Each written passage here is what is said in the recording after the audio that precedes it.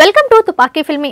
Super star Mahesh Babu మాటల మాంత్రికుడు త్రివిక్రమ్ మళ్ళీ కలిసి సినిమా చేయబోతున్నారు.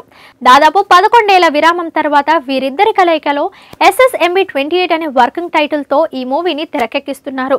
Haarika and Hassine creations banner pi star producer S Radhakrishna ఈ మూవీని అత్యంత భారీ స్థాయిలో నిర్మించబోతున్నారు.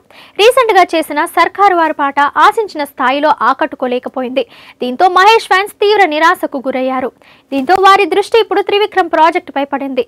ఈ మూవీ అయినా తమ హీరోకి బ్లాక్ బస్టర్ హిట్ని అందిస్తుందనే ఆశతో ఎదురు చూస్తున్నారు అయితే రెండు నెలల క్రితం లాంఛనంగా పూజా కార్యక్రమాలు జరుపుకున్న ఈ మూవీ ఇప్పటికీ సెట్స్కి వెళ్ళడం లేదు. దీంతో ఫ్యాన్స్ కొంత అసహనానికి గురవుతున్నారు. మేకర్స్ని సోషల్ మీడియా వేదికగా నిలదీస్తూ ఇంతకీ ఈ ప్రాజెక్ట్ పట్టాలెక్కుతుందా లేదా అని కామెంట్లు చేయడం మొదలు పెట్టారు ఈ నేపథ్యంలో ఫ్యాన్స్ కామెంట్స్ని దృష్టిలో పెట్టుకుని మేకర్స్ తాజాగా క్రేజీ అప్డేట్ని అందించారు. ఈ మూవీ ఎప్పుడు సెట్స్ పైకి వెళ్తుందన్న విషయంలో క్లారిటీ ఇవ్వలేకపోయినా సినిమా రిలీజ్ ఎప్పుడో ప్రకటించి షాక్ ఇచ్చారు ఈ మూవీని రెండు వేల ఇరవై మూడు ఏప్రిల్ ఇరవై ఎనిమిదిన విడుదల చేయబోతున్నామంటూ ప్రకటించారు.